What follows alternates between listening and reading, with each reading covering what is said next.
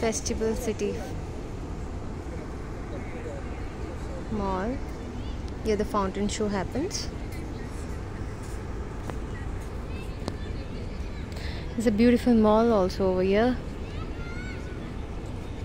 You can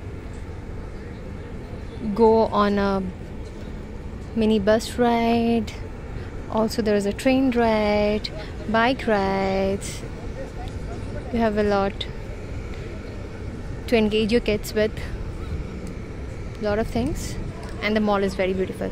In my next video, I'll be making a video the inside view of the mall.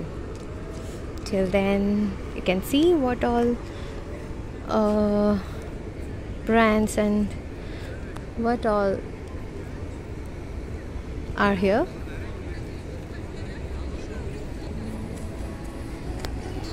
So this is one more uh, you can add it in your bucket list.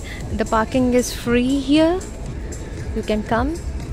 The Dubai Festival City Club and you will get this beautiful view also the light show the fume work and the building is also this building is also unique because you'll see multiple uh, lightings and also you'll see some dance show on top of this building.